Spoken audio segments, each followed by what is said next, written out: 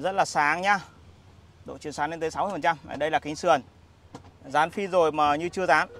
Đây là xe Lexus 350 mới. Đấy, chưa hề có biển. Qua Auto 350 Đình và dán phin uh, ờ, Hooper.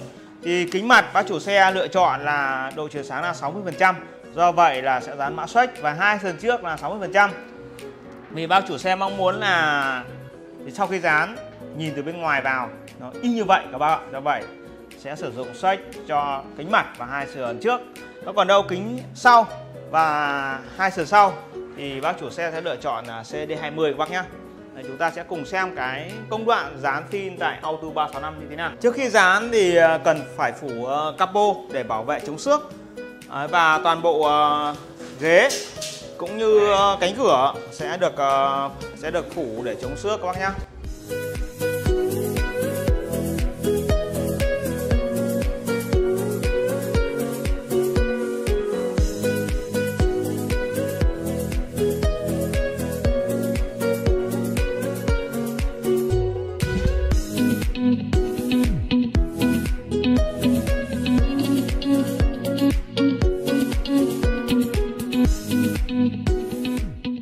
Như vậy là Lexus 350 đã dán xong ờ, uh, phim cách nhiệt uh, Hooper Optic.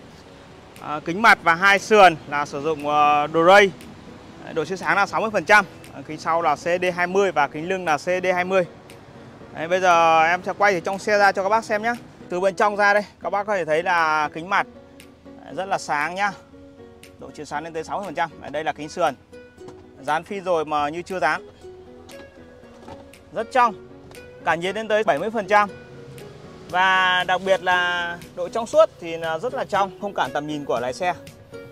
Và sự kín đáo khi nhìn từ bên ngoài vào bên trong.